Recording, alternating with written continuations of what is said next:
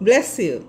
A moment ago, the Holy Spirit brought back to my mind a story we knew as children the dog and the bone. The dog was on a bridge with a bone in his mouth.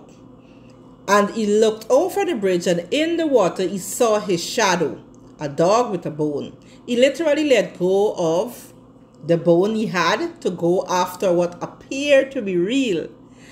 And it was a deception because it was his shadow with the bone. So he was going after what was not real because it was just a shadow. The moral of the story is today, many of us are letting go of what is real to go after what is not real because it appears to be real from the natural perspective. Okay? From what the natural eye could perceive, it appears to be real.